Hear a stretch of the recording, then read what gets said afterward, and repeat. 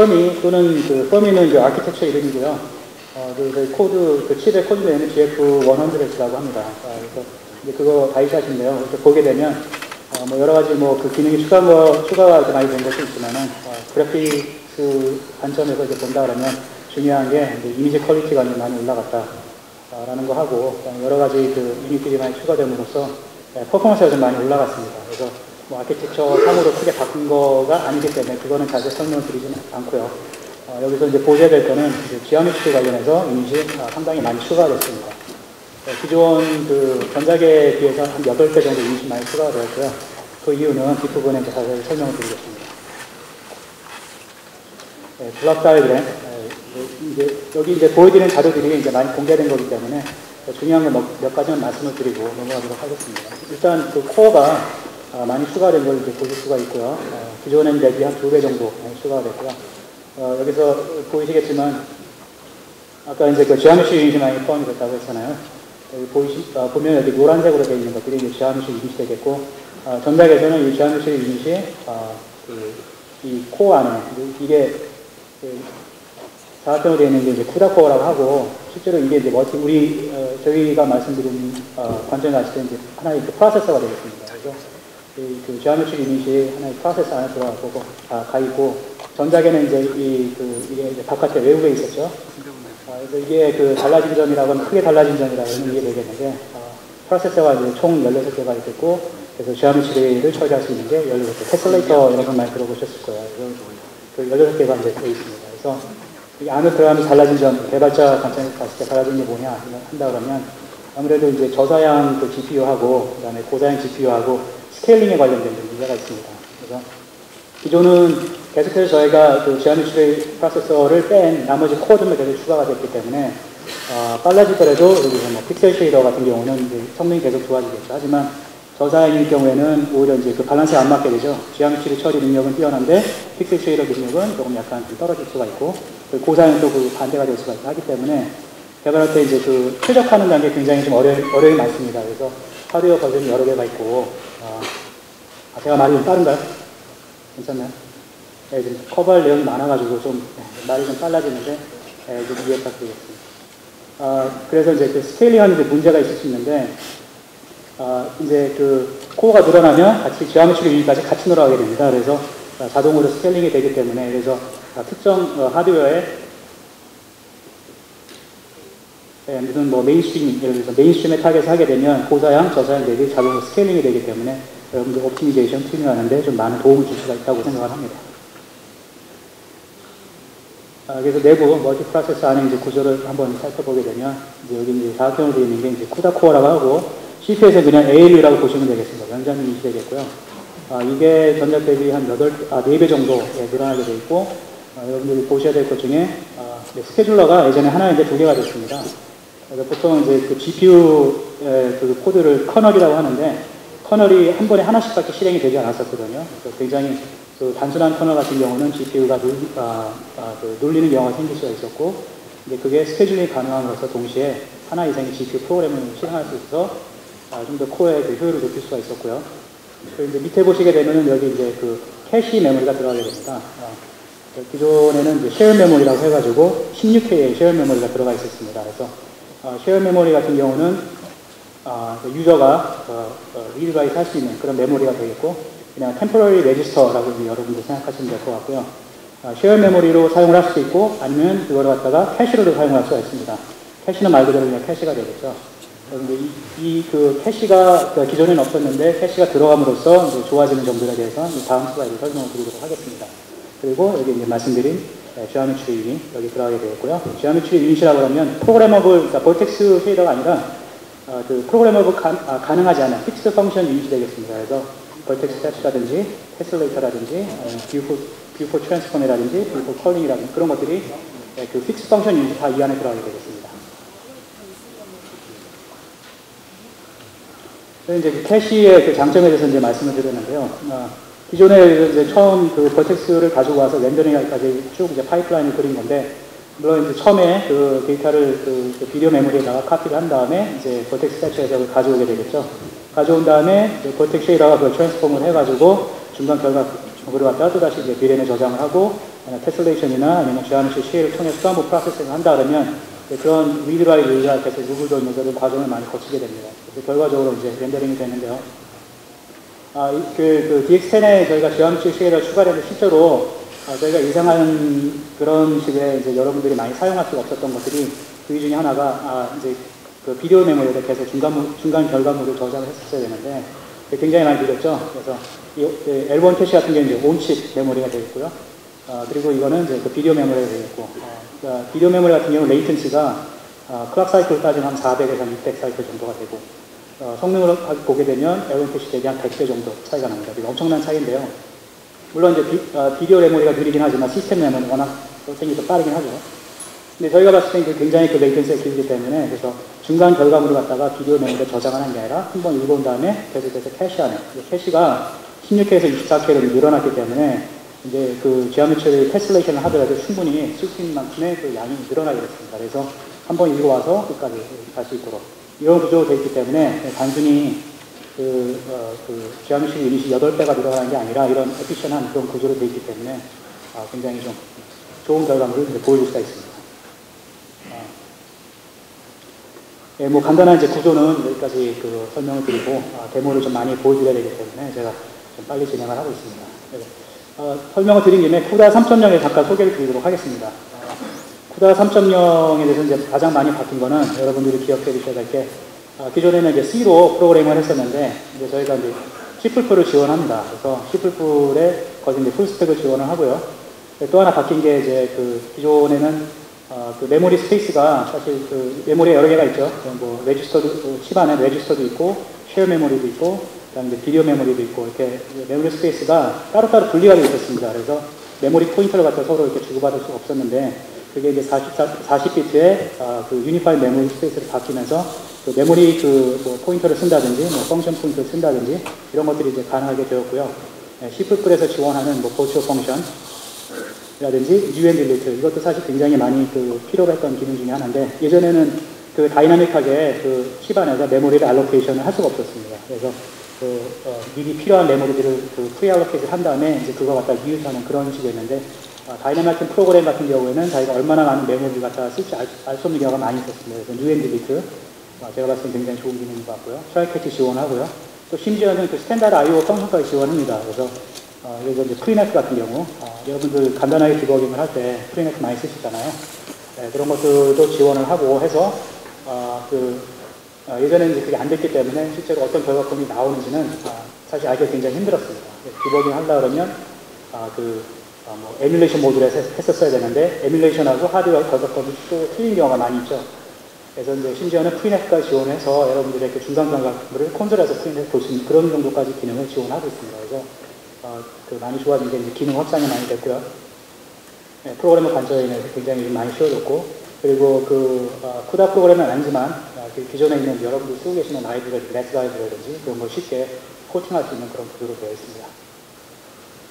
어, 그리고 이제 그 쿠다에 관련해서 여러분들 질문 많이 하시는 OpenCL하고 어, 그 DirectCompute라고 있는데, 아, 차이점에 대해서 어떻게 뭐가 틀리느냐 질문을 많이 하시는 분들이 계시더라고요. 그래서 그 차이점 잠깐 설명을 드리겠습니다.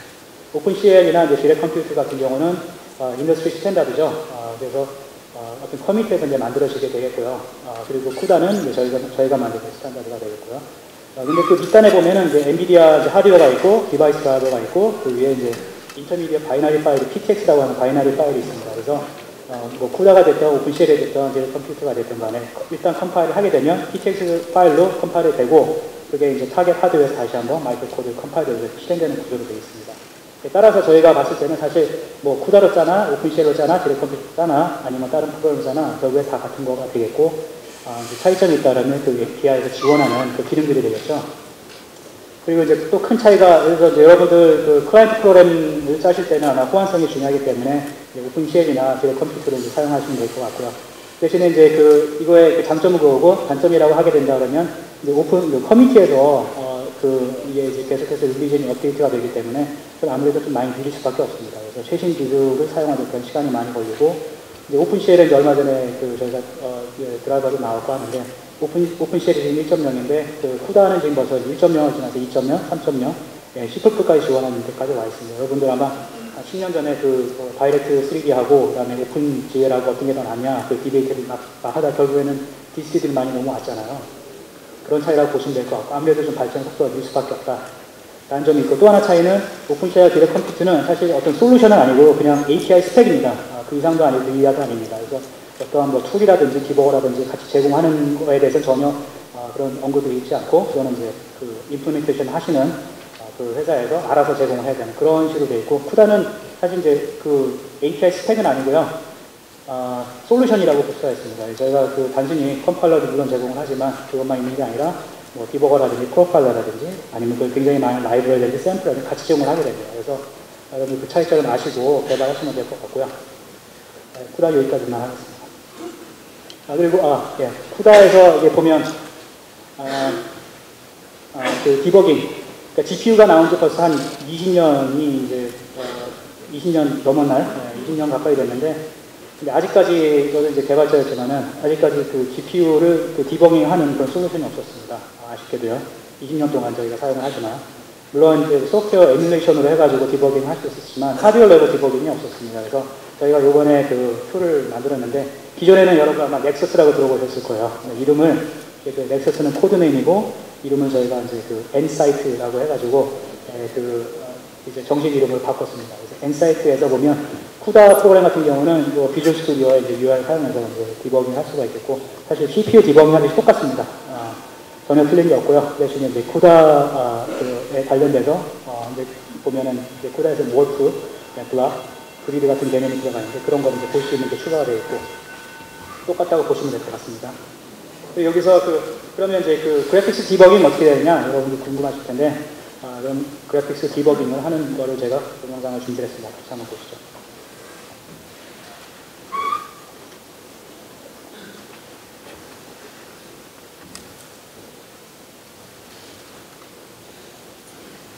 네, 아, 마찬가지로 아, 그 full name은 Parallel Nsight가 되겠습니다. 아, 여러분들 그 PerfHUD라고 아마 여러분들도 많이 들어보셨을 텐데 여기서 잠깐 제가 한번 어, 여쭤보겠습니다. 혹시 PerfHUD를 사용해 보시거나 어, 뭐 들어보신 분이 계신가요? 예, 어느 정도 많이 사용하시는지. 예, 네, 예, 많다고 말씀 못 드리겠습니다. 전체 해주는구나.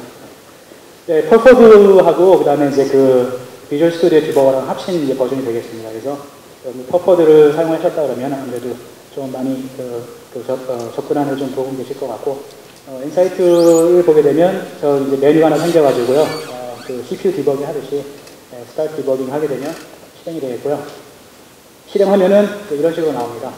네, PerfHUD에서 보여준 것 같이 어, GPU의 load를 보여주는 그래프가 나오고요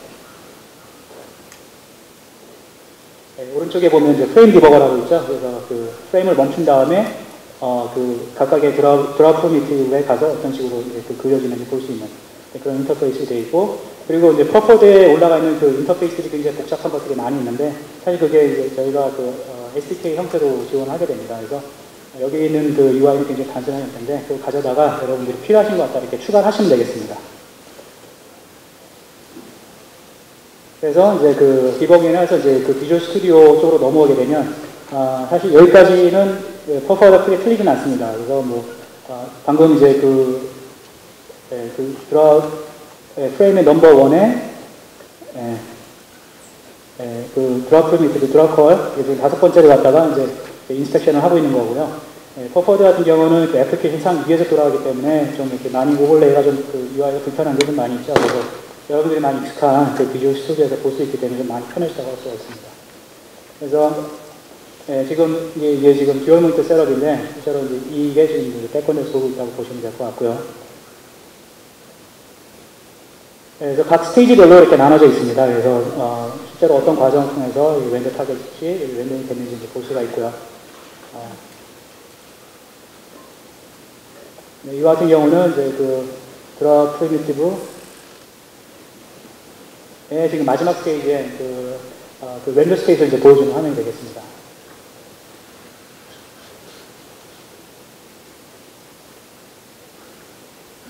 네, 그래서 뭐 여기 어, 떤 특정, 여기서부터가 이제 PerfHUD하고 좀 달라지는 점인데, 하드웨어 디버거가 되겠습니다. 소프트웨어 디버거가 아니라 실제 hardware debugger입니다. 이게 자기가 그 원하는 그 shader 선택을 하고 source code가 나오면 그 위에다가 breakpoint를 이제 선택을 해서 실행을 하게 되면 거기에 대한 정보가 나오게 되겠고 예, 뭐 CPU 디버거를 지원하는 뭐 watch라든지 뭐 local 배열을 볼 수가 있습니다.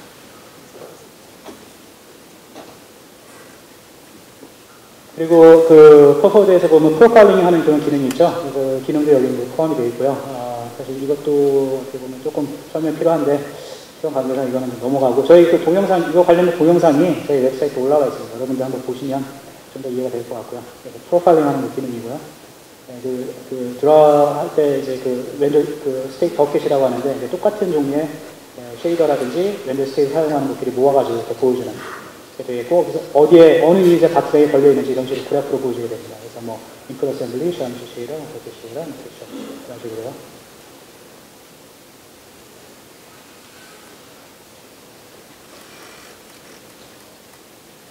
그래서 texture를 선택을 하게 되면 네, 이 texture를 사용하고 있는 그 draw primitive가 highlight가 되겠죠. 그래서 이 텍스처가 지금 어디에 사용되고 있는지 이렇게 볼 수가 있고요.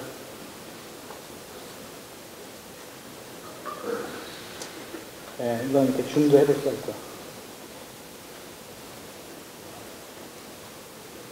그리고 재밌는 게, 어, 그, 이게 이제 render target이거든요. 렌더 타겟에 대한 그 pixel history를 볼 수가 있습니다. 그래서 자기가 그 원하는 그 픽셀을 갖다 이렇게 클릭을 하게 되면 이게 어떤 과정에 통해서 렌더링이 됐는지 아, 이게 이제 렌더 타겟 비포 render 되기 전에 그 픽셀 값이 되겠고 그 다음에 그 소스에서 뭐 어떤 다른 texture 쓴다든지 source가 되겠고 그리고 이제 blending operation을 지나서 그 마지막 final color가 어떻게 나오는지 history가 쭉 나오고 실제로 이게 어느 draw primitive에 대해서 그려졌는지까지 같이 나오게 되겠습니다.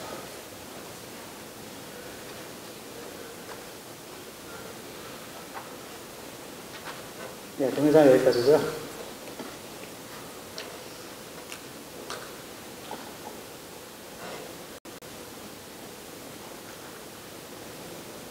네, 그러면 이번 주제에 어, 어, 이번 주 발표 주제가 될 tessellation에 말씀드리겠습니다. 아, 음, 예, 그, 그, 이미지 샷이 있는데 여기 보면 어, 그 굉장히 그 high quality의 현재 그 존재하는 게임 중에 가장 대표할 수 있는 그런 그, 그 이미지가 되겠는데 이게 보면 굉장히 멋있게 보이는데 가까이 보게 되면 뭐 손이라든지 어깨라든지 아니면 눈 주위라든지 보면 예, geometry가 이제 각져 있는 걸 볼 수가 있습니다. 아, 이거를 저는 이제 아, 그 CG 쪽에서 CG 쪽하고 어떻게 틀린지 이제 비교 설명을 하기 위해서 다음 screenshot을 준비를 했는데 아, 제가 봤을 때는 이렇습니다. 그, 그 CG를 만드는 그 과정하고 그래픽스에서 RTS를 만드는 과정하고 굉장히 많이 비슷해졌죠. 예전에는 뭐, 뭐, 그 10년 전만 하더라도 보면 texture 작업하더라도 뭐 컬러, color lookup table 사용해서 4비트 할 건지 8비트 할 건지 뭐 그런 것도 고민했었어야 되고 16비트 24비트 되면서 texture에 대해서 어떤 고민거리 이제 사라졌다고 보고 있고요.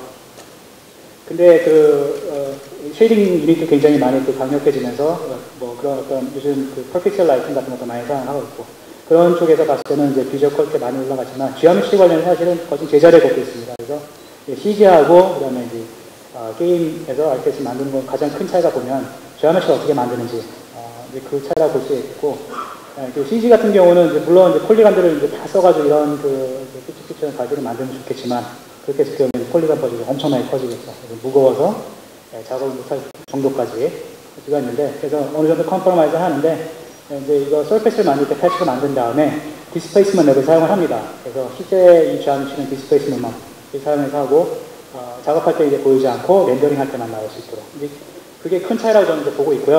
어, 이제 CG에서만 가능했던 것들이 네, DX11 tessellation이 쓰게 됨으로써 어, 이제 그 그래픽도 네, 바뀌게 되지 않을까 저는 이렇게 예상을 해보고 따라서 예전에 이제 불가능했던 이런 것들이 가, 가능해진다고 생각을 하고 있습니다. 그게 이제 가장 큰 tessellation이 어, 주는 어, 그 장점이라고 할 수도 있고 어, 그, 그 저희가 마이크로소프트와 같이 계속해서 어, 지금 이제 DX11이 나왔지만은 그 다음 스택 그 다음 스택 해가지고 같이 이렇게 회의를 통해서 결정을 하는데 DX11에 대해서 여러분 기억하셔야 물론 이제 다른 뭐, 뭐 multi-thread라든지 그런 것들도 지원이 되고 어, 또 다른 API 부분에서도 어, 좋아졌지만은 여러분들 하나 이제 기억하셔야 될 게 테마라고 한다 그러면 tessellation이 되겠습니다. 그래서 어, 이게 뭐 하드웨어 vendor에서 막 한, 어, 밀어붙인다고 해도 되는 것도 아니고 같이 가야 되기 때문에 지금 이제 그 시점상 어느 정도 준비가 되지 않았나. 그래서 어, 그 그러니까 graphics의 관점에서 본다 그러면 이 Fermi는 tessellation에 최적화되는 하드웨어를 만들려고 어, 고민을 많이 했습니다. 어, 그래서 어, 그 지소스 FX 5800 시리즈부터 지금까지 이렇게 보면 어, 그 shading 그 능력을 한 150배가량 실적으로만 어, 그 성능을 갖다가 그 향상을 시켰는데 geometry는 사실 거진 제자리 걷고 있었죠. tessellation을 하려고 DX10에서 노력을 해봤지만 사실 어떤 어, 뭐 제대로 된 tessellation을 하기는 힘들고 DX11은 그걸 고쳐보자. 아, 이제 그 이제 pixel shading은 이 정도면 된 것 같다. 그래서 아, 저희가 이제 이쪽에 그 focus를 해서 개발을 하게 되었습니다. 아, 아마 여러분 tessellation 잘, 너무 잘 알고 계실 것 같아가지고 길게 설명하면 좀 짜증나실 것 같은데 아, 그냥 간단하게 이 점은 일단 tessellation 하게 되면은 그, 그 high, high resolution mesh를 가지고 있을 필요가 없이 저는 이걸 뭐 control cage라고 하기도 하고 base mesh라고 하는데 그냥 좀 편의상 base mesh라고 부르겠습니다. 아, base mesh는 그 LOD에서 제일 낮은 단계, polygon이 적은 단계라고 할 수 있겠고요. 근데 이런 단계의 그 mesh만 가지고 있으면 되고 그렇기 때문에 메모리를 많이 절약을 할 수가 있습니다. 네, 메모리를 절약하기 때문에 당연히 bandwidth도 많이 절약을 할 수가 있겠고요. 그냥 뭐 그래서 다운로드 되는 그 데이터도 많이 줄일 수가 있고 이런 장점이 있고 또 하나의 장점은 이제 scalability. 아, 여러분들 이제 게임을 만드는데 보면 뭐, 뭐 1년 정도 서비스하고 말 그런 게임 만드는 게 아니라 2년, 3년, 국내 같은 경우는 5년, 10년까지도 바라보는데 뭐 하드웨어가 새로운 게 발표됐다 그래서 뭐 그럼 RTS에서 다시 만들어야 되느냐 사실 좀 고민이 되겠죠. 그래서 이 tessellation 기능을 사용해야 되면은 그 하드웨어가 자동으로 어차피 이 내부에서 tessellation 하는 거는 GPU에서 해주기 때문에 따로 작업할 필요가 없습니다. 그래서 이런 점에 대해서 굉장히 장점을 많이 갖고 있고요. 어, 그러니까 자꾸 장점만 얘기하니까 뭐 sales 같아가지고 단점도 혹시 있지 않을까 고민을 좀 많이 해봤어요. 뭐 어떤 단점이 있을까? 아무리 생각을 해도 tessellation이 가지고 있는 단점. 어, 나중에 Q&A session이 있다고 여러분 생각하시면 좀 얘기해 주시면 좀 도움이 될 것 같습니다. 제가 봤을 때는 단점은 없고 아마 이제 이 RTSS를 만드는 그 모델링 방식을 어, 그 그래픽 하시는 분들이 조금 이제 생각을 다시 한번 해보셔야 되겠죠. 적은 poly가 그래서 뭐그 CG 같은 데서는 그 NURBS patch modeling을 많이 하잖아요. 아무래도 patch를 사용해서 modeling을 하는 게 좀 더 그 tessellation 됐을 때 좀 잘 나오고 efficient하게 나올 수 있는 구조로 되어 있습니다. 그래서 여러분들이 아마 이제 그런 것들을 조금 study하는 것 외에는 아, 굉장히 장점들이 많다고 생각을 하고요. 어, tessellation을 하게 되면 예, 방금 그 보여드렸던 이 모델에서 이런 smooth한 surface로 바뀌게 되고요. 여기다가 그래서 displacement map을 사용을 한다. 그러면 이런 모습이 나오게 되죠. 그래서 아까 그 처음에 보여줬던 거는 완전히 전혀 다른 모델이고. 어, 대충 이렇다. 그리고 이제 심, 이제 심한 경우 굉장히 이제 단순하게 예, 보여드린 건데, 예를 들어 terrain을 만든다. 뭐 이게 뭐 8kg짜리 8kg짜리 terrain인데, 사실 polygon 한 장으로 만들 수 있습니다. 예, polygon 한 장으로 딱 만들고, 그, 어, 그, 그리고 이제 displacement map, height map이 되겠죠. 그래서 height map을 주어지게 되면은 GPU에서 tessellation을 해서 그 실제로 지하는 추대가 이렇게 굴곡이 나오는. 어, normal map으로도 이제 이런 그 표현을 할 수 있지만은, 음영은 표현이 되지만 실제로 이렇게 지하미추가 움직이는 건 아니죠. 그래서 이제 실루엣에서 봤을 때는 이렇게 flat하게 나오기 때문에 terrain으로는 별로 크게 가치가 없습니다. 그리고 이제 tessellation 하게 되면 이게 지하미추이기 때문에 뭐 shadow라든지 그런 것들이 제대로 나올 수 있고요. 그래서 이거를 어, terrain에 적용을 했을 때 에, 방금 보여드렸던 예, displacement map하고 displacement map은 그냥 단순히 그냥 height 데이터가 되겠습니다. 여러분들 normal map 많이 쓰시는데 normal map은 어, 데이터를 뭐 X, Y, Z로 해가지고 세개 component 저장을 하는데 물론 이제 줄일 수 있겠지만 height map은 되게 단순한 그 높이 값이기 때문에 오히려 그 normal map이 갖고 있는 모든 것들을 표현할 수 있면서 오히려 데이터 양을 더 줄일 수 있는 그런 또 장점이 있습니다. 이제 그거를 어, 이제 캐릭터 네, 그 여러분들 많이 보셨을 것 같은데 Unigine이라고 하는 benchmark가 나왔습니다. 그래서 Heaven 안에 있는 그, 어, 그 dragon 모델인데 이걸 tessellation을 적용했을 때 이런 모습에서 네, 이런 모습 표현이 가능하고요. 그 오른쪽에는 굉장히 단순한 어, 심심한 그 모델이 되겠는데 여기서 tessellation을 적용을 하면 이런 좀 어, 재미있는 그 모델이 나올 수가 있습니다. 그래서 이거 실제로 그 저희 그, 그 펌이 하드웨어에서 돌아가는 것을 보여드리도록 하겠습니다. 아 그리고 보여드리기 이전에 제가 어, 여러분들한테 말씀드리려면 제가 가지고 있는 하드웨어가 사실 이게 프로덕션 보드가 아니거든요. 엔지니어 샘플을 이제 저희가 어, 그 필요하다 그래가지고 급하게 가져오기 위해서 일단 그 보여주는 게 중요하다 해서 가져왔고요. 네, 프로덕션에 비해서는 많이 느립니다. 어, 제가 얼마나 많이 느리다고 제가 말씀은 예, 드리진 않겠지만 많이 느립니다. 아, 두배 이상 느리다고 보시면 될 것 같습니다. 감안하고 보시면 좋겠습니다. 어, 네, 말씀을 드렸으니까 예, FPS를 키겠습니다.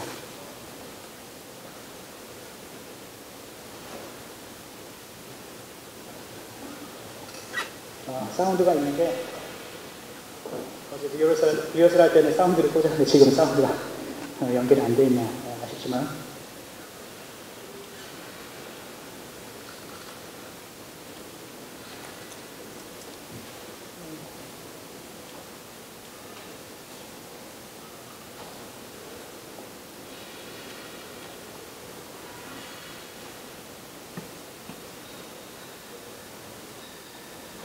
예, 좀 전에 보여드렸던 이제 모델이 되겠고요. 지금은 이제 tessellation이 켜져 있는 상태고, 그 다음에 tessellation이 꺼져 있는 상태. 그리고 wireframe으로 보면, 예, 꺼져 있는 상태고, 이제 킨, 아이고, 꺼져 있는 상태고, 이제 킨 상태가 되겠습니다. 그래서 뭐, 여기 오른쪽에 보면 FPS 이렇게 나와 있는데, 한번 참고해서 같이 보시면 될 것 같고요. 그리고, 어, 뭐 이런 거도 적용이 가능하고, 어, 그래서 또 앞에서 네, 옆에 이제 계단을 이제 보여드리고 있는데, 와이어프레임으로 보게 되면 굉장히 좀 이렇게 단순한 플랫한 그런 서페스로 되어 있고요. 아, 이런 그 건물이나 아니면 이런 데도 적용을 해도 괜찮을 것 같습니다. 그래서, 아, 여기서 이제 키게 되면, 아, 어떻게 보여드려야 좀 멋있게 보일까.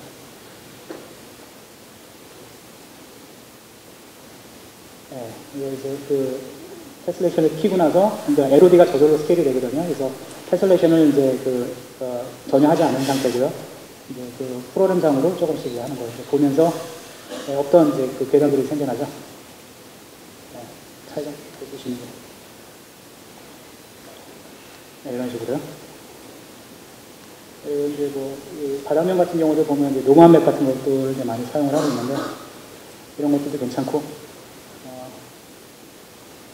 그래서, 들어보면은, 어, 여기는 이제 그 LOD가 아, tessellation 전혀 적용되지 않은 상태에다가 예, 지금 이제 프로그램상으로 최대한 이제 적용이 된 상태. 아, 뭐 대충 봐도 한 100배 정도 polygon이 많아졌습니다. 근데 어, 오른쪽에 보시면 어, 이 상태고요. 어, tessellation은 지금 킨 상태고 끈 상태고 어, 약간 뭐 한 30% 정도 프레임 차이가 보이고 있는데 어, 사실 이 차이는 제가 봤을 때는 그 anti-aliasing을 키고 안 키고 그 정도 차이 정도라고 이렇게 밖에 이게 어, 보지 않아도 될 것 같습니다. 그래서 anti-aliasing으로도 물론 이제 이미지 quality 높일 수 있지만 사실 이 tessellation 둘 중에 선택을 해라 그러면 저는 당연히 tessellation 선택을 하겠습니다. 그만큼 많은 quality 차이를 보여줄 수가 있기 때문에 이 지금 데모는 예, 그 공개된 데모이기 때문에 어, DX11 하드웨어가 어, 출시가 될 테니까 여러분 직접 돌려보실 수가 있습니다.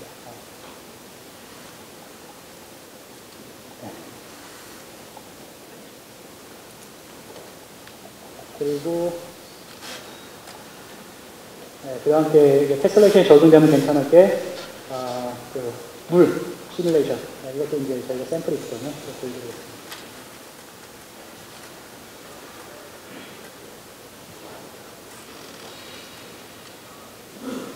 어, 네, 그 tessellation 그 base 아까 mesh라고 말씀드렸는데, base mesh의 상태일 때는 이제 원래는 이런 식으로 데이터 저희가 GPU에 넘겨, 넘겨주 게 됩니다. 그래서 이 상태에서 보시면 알겠지만 굉장히 어, 낮은 quality의 물이 되겠고요. 여기다가 tessellation 적용을 해주면 네, 이런 상태가 됩니다. 아, 이 terrain, 이 terrain에는 이제 displacement map, texture map이 적용이 된 거고, 이 물 같은 경우는 tessellation을 해가지고, 아, 그 procedural simulation 한 거가 되겠습니다. 아, CUDA로요. 아, CUDA로 이 출렁이를 갖다 이렇게 그 움직임을 준 거고요. 이거를, 어, wireframe으로 아, 네, 원래 이제 base mesh가 이런 상태가 되겠고요. 네, tessellation을 좀 높이게 되면 네, 여러분도 네, 밑에는 약간 구멍 뚫린 게 보이긴 하겠지만 트라이앵 자체가 이제 픽셀보다도 더 작은 그런 크기로까지 아, 작아지게 되겠고 프레임도 이렇게 한다 하더라도 크게 떨어지지 않는 걸 볼 수가 있습니다. 아, 물론 이제 떨어지, 어느 정도 떨어지긴 하겠지만, 아, 그냥 많이 떨어지지 않는 거로 봐서. 예를 들어서 뭐 지금 이 정도가, 어, mainstream급의 GPU에서 이 정도 돌아간다 그러면, 어, 나중에 이제 GPU가 발전하고, 뭐 고사이다 그러면, 어, RTX 전혀 작업하지 않고 있는 그대로 올- 올려주게 되면, 어, 점점 높은 quality의 물을 볼 수가 있습니다. 그리고 또 하나 이제 terrain 같은 경우 여러분들 뭐 CPU에서 예전에는 뭐 ROAM이라는 그런 알고리즘 사용을 해서 어, CPU에서 tessellation을 한 다음에 넘겨줘서 rendering 하는 그런 것도 있었고 요즘에는 아예 그냥 GPU에서 통째로 rendering하는 경우도 있었고 하는데 GPU에서는 tessellation 하기 힘들기 때문에 많은 부분에서 좀 약간 낭비가 있었죠. 근데 DX11을 사용한다는 가정하에 어, tessellation 기능을 쓴다 그러면 사실 뭐 이거보다 더 뛰어난 terrain 엔진을 만들기는 힘들다고 봅니다. 마치 그, 어, 그, 뭐 소프트웨어로 그 texture map을 rendering, CPU로 rendering 하는 것처럼, 어, 사실 요즘 그런 사람은 전혀 없기 때문에, 예, GPU를 사용을 한, 예, 아이고. 예, GPU, 그러니까 DX11을 사용하고 GPU를 사용을 하는데 terrain 엔진을 구태여 플라시를 만든다라는 건 아무 의미가 없을 것 같고요. 예, 이거보다도 더 좋은 quality의 더 어, 빠른 terrain 엔진을 만드는 거는 좀 힘들지 않을까. 아, 그리고 또 이제 이 코드, 이 tessellation 하는 그 코드는 저희가 샘플에서 다 제공해 드리기 때문에 여러분들 이거 가져다가 조금 수정을 하셔가지고 아, 이거 같은 경우는 그 카메라 거리에 따라서 아, 이제 tessellation 하는 거 자동으로 스케일하게끔 그렇게 되어 있거든요. 그래서 이런 데를 이렇게 보시게 되면 예, 멀어졌을 때 tessellation 레벨이 좀 낮아지고 예, 높아지고 뭐 이런 구조로 되어 있고요. 그래서 이제 그 바뀌는 것들이 실루엣이 smooth하게 예전에 popping 같은 것도 많았잖아요. smooth하게 되고 그런 seam도 없고 아, 그리고 여기는 지금 되어 있진 않지만은 이래서 뭐 실루엣이다 이런 smooth한 앵글에서 봤을 경우에 이런 부분은 tessellation 좀 더 많이 해준다든지 이런 게 프로그램상으로 다 컨트롤이 가능합니다. 아, 이런 게 있고요. 그 다음에 또 테슬레이션을 적용하면 괜찮을 게 헤어. 예, 헤어도 샘플이 있습니다.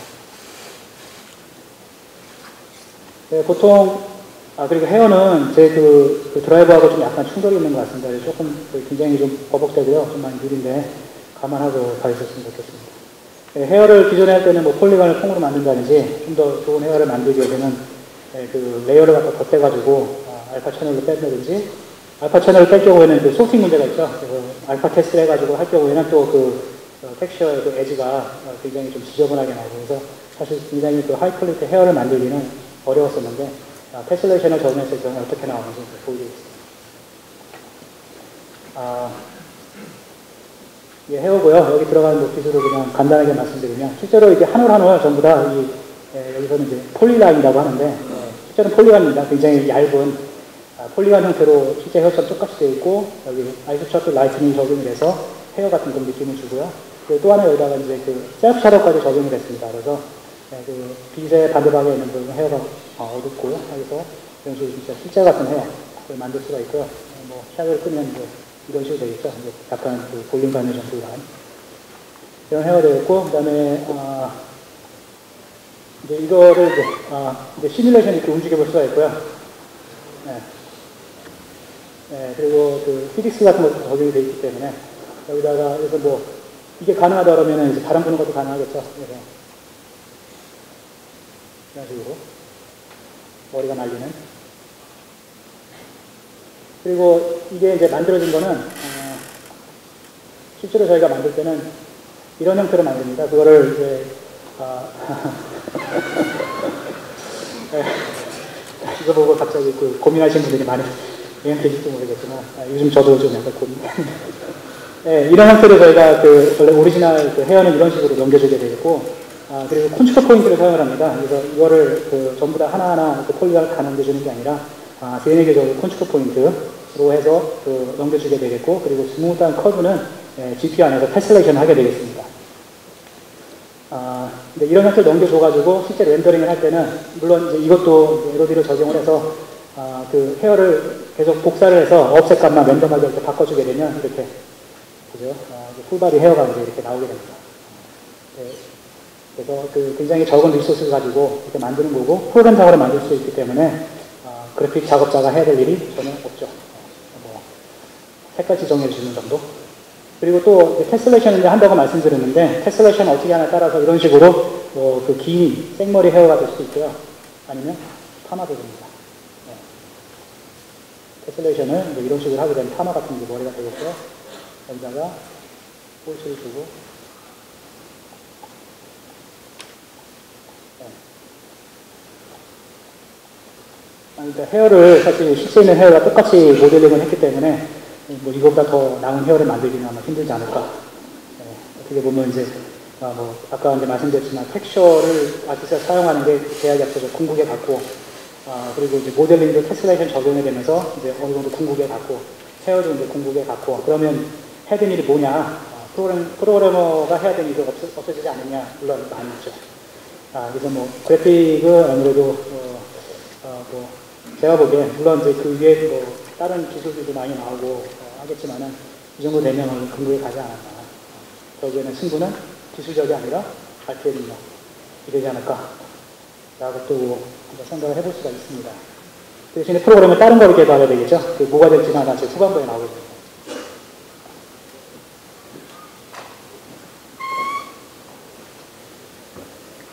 예, 그래서 어, 뭐그 테슬레이션 되는 과정을 여러분들 일단 먼저 맛배기를 보여드렸고 어, 과정을 좀 이렇게 보도록 하겠습니다. 기존 그러니까 지금 현재 사용하고 있는 art pipeline 먼저 이런 식으로 control cage 또는 이제 base mesh를 이제 만들죠. 만든 다음에 갖다가 어, smoothing을 해서 tessellation을 한 다음에 약간 이제 필름에서 사용하고 있는 그런 기술이 되겠습니다.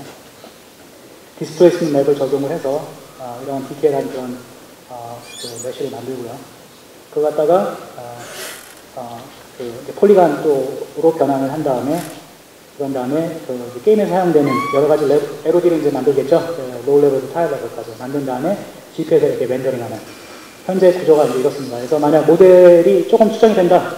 그러면은 다시 거꾸로 이제 LOD 다시 generate 해야 되고 그죠? 이제 그런 과정을 거쳐야 되는데 어, 이제 이 부분이 하나로 그러니까 지금은 이제 manual로 해야 되는 작업이 GPU에서 이걸 다 replace를 할 수가 있습니다.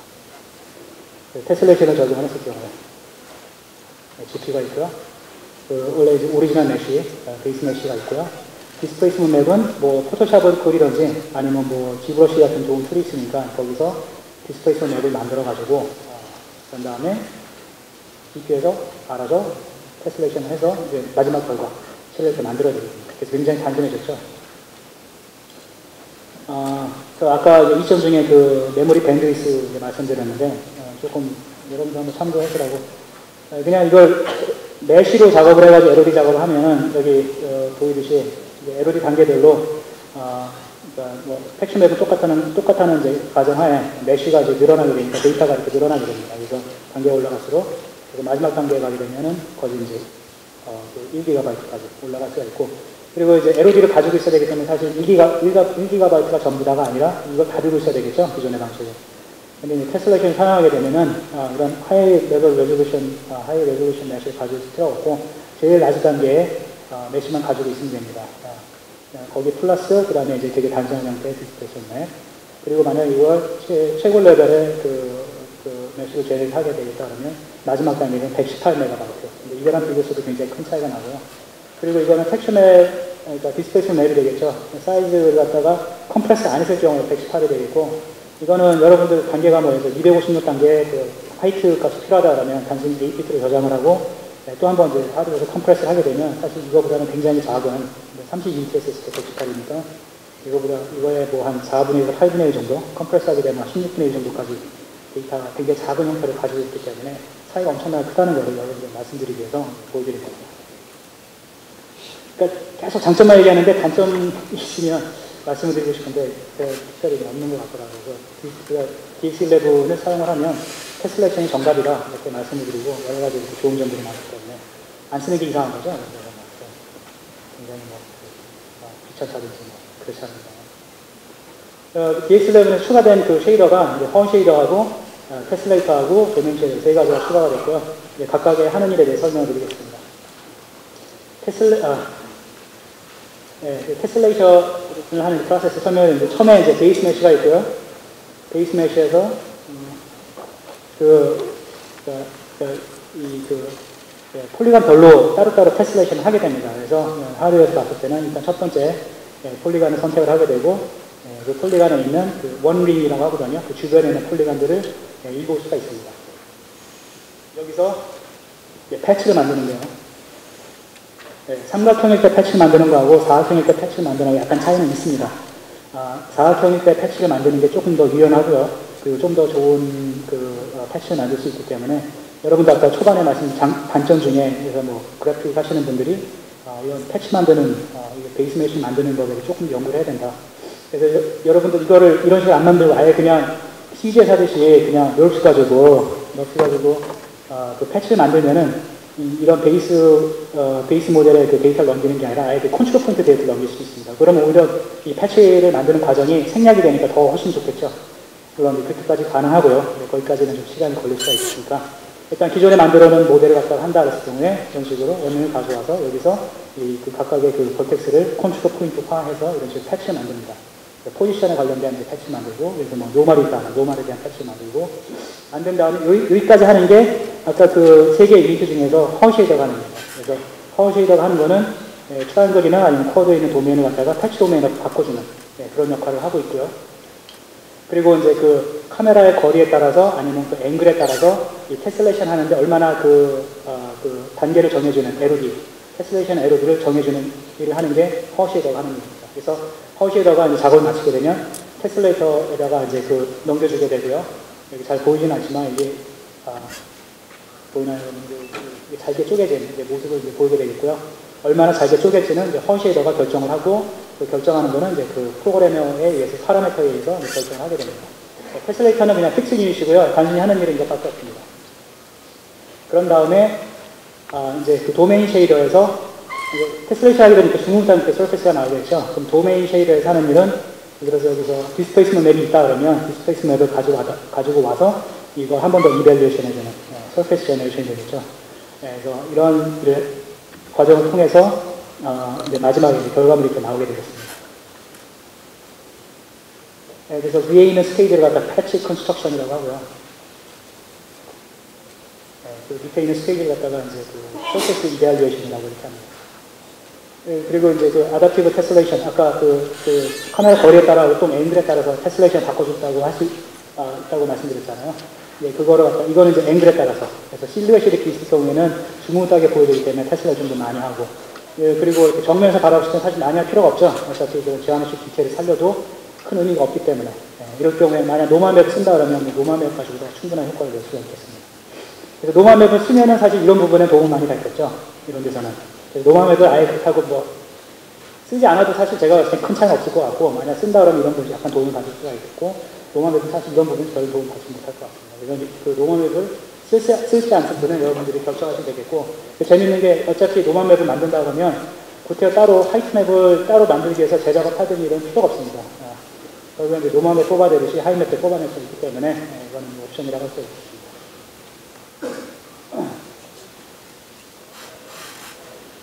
예, 그래서 아, 사실 이 부분에서 그 Heaven 데모를 보여드린 제가 보여드렸기 때문에 넘어가도록 하겠습니다. 그리고 이 부분은 이제 그 퍼포먼스가 얼마나 향상이 되는지 아, 뭐 사실 뭐 제가 이거 떠들면 뭐또 세일자는 같으니까 여러분 한번 참고해 보시고요. 어,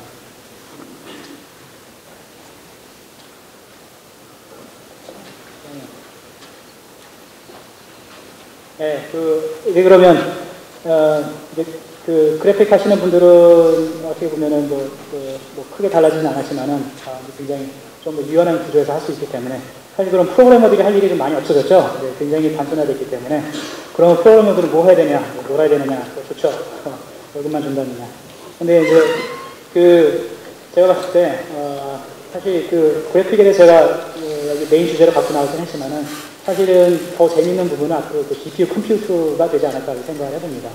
여러분들 그 게임 만드는 데 보면 이제 graphics가 전부가 다는 아니지 않습니까? 그래서 아, 내가 보기에는 정점이 온 것 같고 물론 앞으로 하드웨어가 좋아지면 뭐 텍처 사이즈가 늘어나고 제한 수가 늘어나고 더 좋아 보이긴 하겠지만 뭐 fundamental이 많이 바뀌거나 뭐 예를 들어서 뭐 팀즈가 나와 얘기를 많이 했지만은 사실 뭐 5년, 10년 정도를 바라보는 얘기를 했었고 뭐 그뭐 ray tracing 얘기도 나왔겠지만은 사실 뭐 그게 2, 3년에 바뀔 것은 아니, 아니기 때문에 사실 그때까지는 계속 유지를 할 거고 앞으로 지금부터 2, 3년 후까지는 어느 쪽에 굉장히 많이 투자가 이루어질 것이냐 저는 이제 그 GPU 컴퓨터라고 보고 있습니다.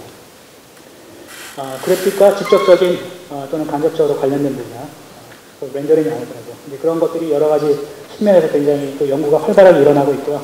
그 아, 뭐 관련된 좀 잡설이긴 하지만 생각을 좀 약간 말씀을 드리면 어, 그 어, 엔비디아가 보면 그 저희가 처음에 작년 어, 가을에 GTC에서 그 퍼미를 공개를 했었습니다. 그래서 그때는 이제 게임에서 전혀 얘기를 안 했기 때문에 아 그러면 엔비디아 게임을 포기하는 거 아니냐 이렇게 많이 얘기를 하셨고 요즘에 많이 또 나오는 얘기는 뭐 가격대를 섞는 얘기 많이 나오고 칩이 너무 크기 때문에 뭐 뜨겁고 그다음에 가격 경쟁이 안 될 것이다 라는 그런 얘기가 많이 나오는데 사실 뭐 맞는 얘기긴 하겠죠. 그래서 컨슈머들이 봤을 때는 아, 지금 있는 게임이 저렴한 가격에 잘 돌릴 수 있는 가장 좋으니까. 근데 이제 저희 이제 엔지니어링 관점에서 봤을 때는 사실 누군가가 신기술 개발을 하고 그런 걸 하지 않으면 안 된다고 생각을 합니다. 아, 그래서 아, 저희, 는 사실 뭐 이렇게 단순 제조, 업이라 그러면 이런 뭐, 그, 뭐, 그냥 뭐 흔히 하는 이거 뻘짓이라고도 할 수가 있는데 사실 이런 거 안 하고 그냥 칩을 적게 만들고 efficient하게 만들어서 많이 팔면 좋을 텐데 이제 그렇게 안 하고 좀 무식한 방법으로 예, 칩에다 여러 가지 기능들 여기서는 얘기 안 했지만 그 compute 관련해서 뭐 ECC를 집어넣는다든지 아니면 double floating point 갖다가 연산 능력을 뭐 레벨을 향상시키다든지 사실 전혀 지금 게임에 도움이 안 되지만 누군가가 하지 않으면 안 된다는 일이라고 생각을 하고요. 뭐 인터넷이 뭐 그 원래 뭐 컨슈머를 위해서 개발된 게 아니라 알파에서 그, 그 국방부에서 그 어, 뭐 군사 목적으로 개발되는데 지금은 이제 일반이 다 쓰지 않습니까? 그래서 지금 당장은 관련 없는 것 같아 보이지만 이게 2, 3년 후에는 분명히 게임이 도움이 될 것이다 라고 생각을 하고 이해를 바라고 하기 때문에 사실 이런 일을 하고 있습니다. 그래서 개발자 분들이라면 잘 알고 계시기 때문에 아, 그러니까 좀 약간 답답한 게 없잖아. 그래서 그런 걸 말씀드리고 싶었고요. 아, 그 이제 compute를 가지고 할 수 하면 이제 좋은 것들이 아, image processing에 굉장히 그 유연한 구조를 가지고 있습니다. 네. 그, 그, GPU shader 같은 경우는 single pixel in, single pixel out 해가지고 어, 그 memory read가 있어 이제 자유롭지가 않은데 PCOM 같은 경우는 보면 그, 그 HDR lighting 같은 게 그 luminance color를 계산하기 위해서 mipmap을 쓴다든지 histogram을 찾게 되는데 보면 기본적으로 이제 multi-pass 그, 알고리즘을 사용을 하죠. 그래서 이거를 CUDA로 사용을 하면 아, CUDA를 사용을 하게 되면 그 single pass에서 만들 수가 있습니다. 네, 그럴 경우에 그 아, 아, 성능이 약 300배 정도 빨리 네, 그런 거를 만들 수가 있고 물론 이제 심한 케이스고요. 그러니까 image processing 굉장히 많이 도움이 될 것 같고요. 그 다음에 이제 시뮬레이션 저희가 이제 그 physics library PhysX라고 이제 있는데 네, 그거를 저희가 굉장히 많이 연구하고 있는데 이제 그런 것들 가능하고요. 그 다음에 또 뭐 애니메이션 네, 그, 그, 그러니까 그 skinning 같은 경우에 보면 GPU에서 많이 하는데 사실 그것도 그 복잡한 스키닝을 하거나 그럴 경우에는 어, 좀 버텍 쉐이더의 한계가 있는데 그런 걸 CUDA 할 때는 굉장히 편하게 할 수 있고요. 그리고 저희가 지금 사실 그런 작업을 여러 그 게임 업체들이 하고 있습니다. 이런 이런 작업들이요. 그럴 경우에 그 speed가 굉장히 많고요. 이런 거 애니메이션도 네, 그, 그 GPU에 vertex shader 하는 게 아니라 투자를 했을 때 굉장히 도움이 되고 뭐 AI, 뭐 pathfinding이라든지 네, 뭐 neural network, learning algorithm 이런 것들이 지금 연구가 활발하게 되어 있고요. 실제로 뭐 저희가 작년 SIGGRAPH에서 AI pathfinding 같은 경우는 저희가 CUDA에서 구현해서 보여드린 경우가 있습니다. 또 말고 이제 지금 굉장히 active하게 이제 development 되고 있는 area가 이제 하, hybrid rendering, OIT, 예, 그래서 뭐, 여기 alpha blending 할 경우에 다 sorting을 해야 되잖아요. 단위로 sorting 하더라도 보면 그, 그, 뭐 painter's algorithm이라든지 그 cross section이 생기면 sorting이 되더라도 정확하게 표현할 수 없는데 그 폴리알레로 소팅하는 게 아니라 pixel level로 sorting하는데 그런 것들이라든지 좀 더 정확한 shadow map을 만드는 거라든지 ray tracing은 이제 저희가 어, 이제 공개를 했고 어, ray tracing 사실 먼저 네, 경쟁사 얘기부터 빼겠습니다. 그, 어, 그, 하고 있고 뭐 아직 게임에 적용될 만한 real-time ray tracing은 아니지만 이에 그러니까 실제로 거의 가, 근사치 가까운 뭐 1초에 한 10프레임 정도 지금 나오고 있거든요. 굉장히 high quality의 ray tracing인지 그런 것들이 활발하게 지금 연구가 되고 있고 아, 이런 걸 그냥 그, 어, 같이 traditional 그 rendering pipeline하고 ray tracing은 서로 이렇게 할 수 있는 그런 쪽 연구하고 있고요. 뭐 voxel rendering이라든지.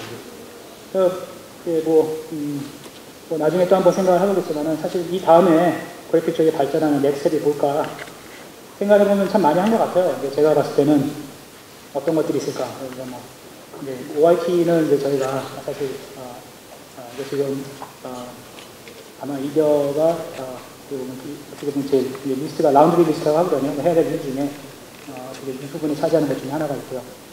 어, 그러니까 뭐 particle rendering 한다 그러면 sorting에는 sorting할 필요 없이 알아서 그냥 pixel shade 써주는 그런 게 있고, 어, 그 뭐가 있을까요? 어, 그 다음 스텝이라고 하면, 뭐, virtual texture map, 네, 지금 텍션 맵을, 어, 그래서 이제 어떤 그, virtual texture를 사용하기 때문에 굉장히 무한정에 많은, 어, GPU에서 어, 필요할 때마다 이렇게 다운로드 해가지고 할 수 있는 그, 어, 그런 기능들이 하드에서 지원한다든지 뭐 그 정도가 이제 GPU 관련해서 연구가 되고 있고 나머지는 사실 GPU 컴퓨터에서 많이 활발하게 연구가 진행되고 있습니다.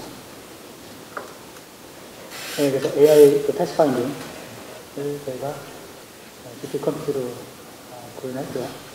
네, 그 아까 말씀드린 ray tracing 어, 굉장히 그, 어, 그 모델 데이터 자체도 굉장히 그 괜찮은 모델인데 이거를 뭐 30프레임 per 세컨은 아니더라도 한 지금 정확히 제가 그 수치는 모르겠지만 제가 봤을 때는 한 5프레임에서 10전 정도 되는 것 같더라고요. 네, 그런 것들이 지금 새로 솔루션에 나와 있고요. 네. 그리고 그, 그 저희가 또 APEX 모듈이라고 있는데 네, PhysX library를 저희가 같이 제공을 하고 있지만은 PhysX를 게임에 적용해서 쓰기에는 아, 상당히 많은 그 시간과 연구의 그, 그 노력이 필요로 합니다. 그래서 parameter도 굉장히 많고 아, 그렇기 때문에 그래서 개발자 여러분들이 힘들어해서 저희가 그런 아예 그 모듈화해서 plug-in처럼 만들어서 제공을 하자 tool까지 예, 그 아티스트들이 쓸 수 있을 정도까지 예, 그런 거를 저희가 이제 만들고 있고 실제 APEX destruction 같은 경우는 지금 모듈이 지금 나와 있는 상태고요. 지금 게임에 여러 게임에 적용이 되어 있는 상태입니다. 그래서 이런 뭐 그 건물들이 예, 예, 다 부서질 수 있는 그런 tool까지 저희가 제공을 하고 있고 예, 이건 이제 SpeedTree하고 저희가 같이 co-op을 해가지고 vegetation 예, GPU에 이제 가속을 받는 그런 거를 지금 작업을 하고 있고요. 그 다음에 이제 clothing, 아마 이제 다음에 나오게 될 그, 모듈이 되는데, 자연스러운 cloth, cloth를 쓰기 편하게끔, 예, 말하자면 재단하듯이 네, 그런 식으로 쓸 수 있게끔 하는 그런 모듈이고요. 그 다음에 이제 그 turbulence, 예, 이거는 그 저희 예전에 만든, 한 2년 전에 만든 그 smoke라는 이제 데모에서 그걸 갖다 모듈화해서 아, 쓸수 있게끔. 아, 아, 여기서 제가 그럼 turbulence를 하나 보여드리겠습니다.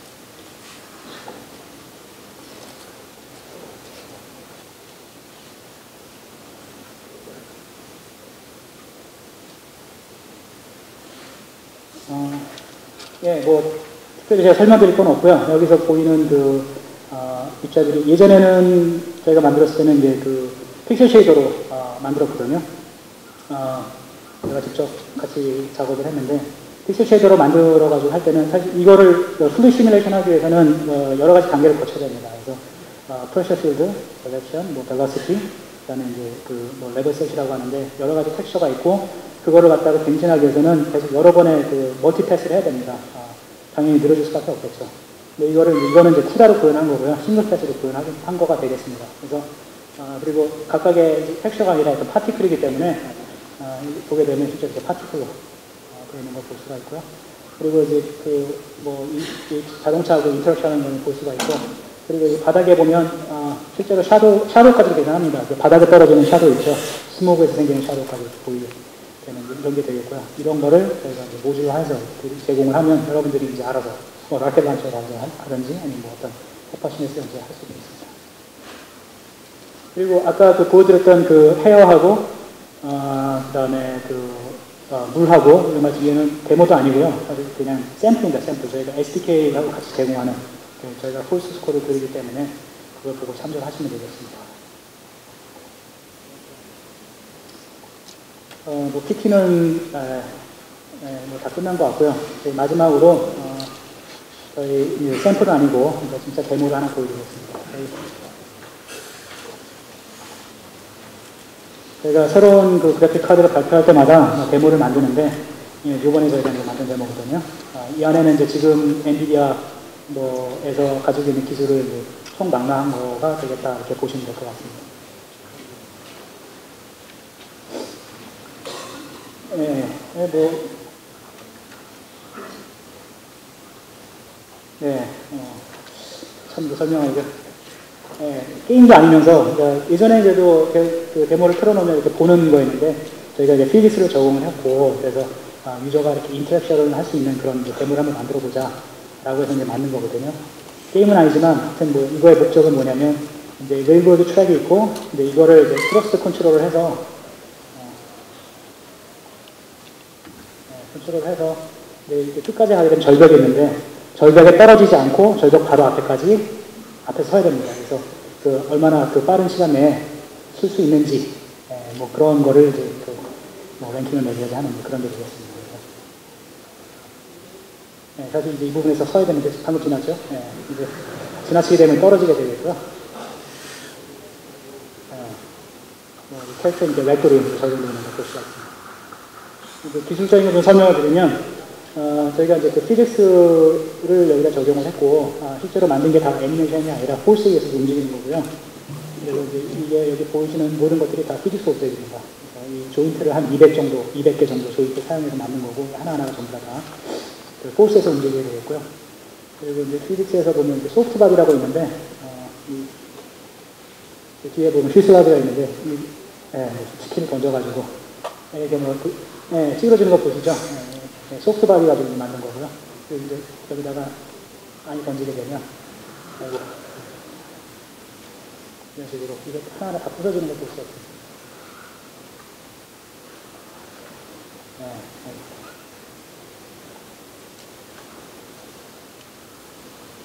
예.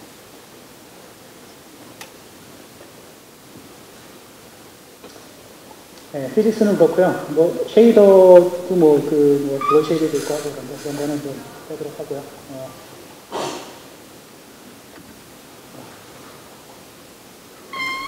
네.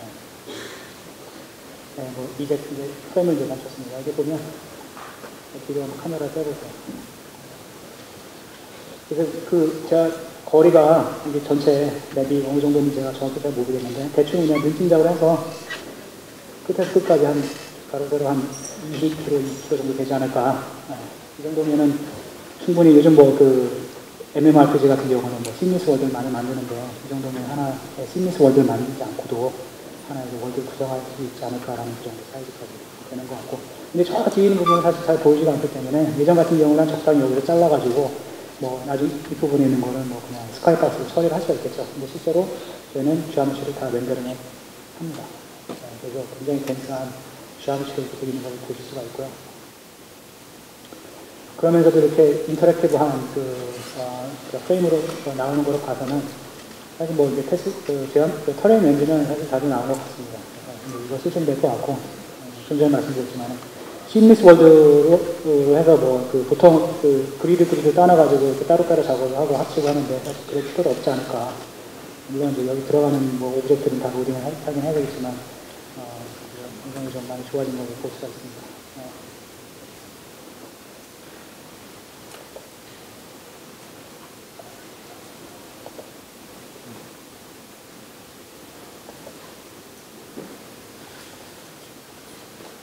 저에 대해서 발표는 아, 여기까지입니다. 네, 감사합니다.